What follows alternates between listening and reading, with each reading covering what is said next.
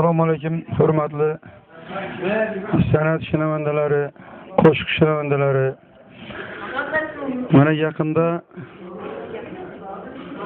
e, marhum bizni do'stimiz Otajon Xudoyshkurovning qo'shiq tanlovi yakunlandi. Qoraqalpog'istonning Beruniy tumanida O'zbekistonimizning hamma viloyatlaridan juda ajoyib qo'shiqchilar, juda yosh, qobiliyatli xonandalar kelib qatnashdilar. Shularning ichida ko'plari juda qattiq hurmatga sazovor bo'ldilar. Yaxshi diplomlar oldilar. Yaxshi o'rinlar egalladilar.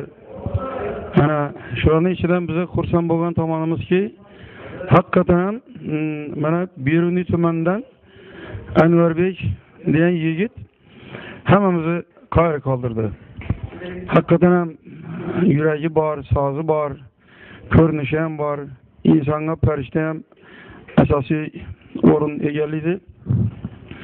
Juda yaxshi bir oiladan ekan, keyin tanishib olsak, e, dadalari ham san'atga juda berilgan, o'zi butun e, qarindosh urug'lari ham shu san'at desa, e, hammasi qoyil qolib o'tiradigan insonlar ekanlar. Men o'zim bir ovozdan turib shu birinchi o'rinni shu yigitga 10 ball qo'yib berdim. Lekin men baho qo'ygan paytda uncha e'tibor qilmadim. Bu Anvarmi yo boshqami? E, aytib turganini ko'rib tan berib yubordim. Anvarjonga mana omad tilayman. Bundan keyingi ishlarda, bundan keyin hayotida, oilaviy hayotida e, ulkan omadlar, yutuqlar tilayman. Hamisha sog' salomat bo'lib, xalqimiz hurmatiga sazovor bo'laversin. Mana Qoraqalpog'istonning Beruniy tumanidan bugun Otajon Xudoyshkurovdek mashhur zabardast hofizning qo'shiqlari bo'yicha birinchi o'rinni olibdi. Xudo xohlasa tinmay o'z ustida ishlab borsa, yaxshi niyat qilamizki, xizmat ko'rsatgan xalq artisti shunday ustozlar bosib o'tgan, hammamiz bosib o'tgan yo'llar nasib qilsin.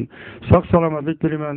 Yangi yilda yangi omadlar, yaxshi yangi qo'shiqlar bilan sizlarni qulog'ingizni to'ldirib tursin. Sog' bo'linglar.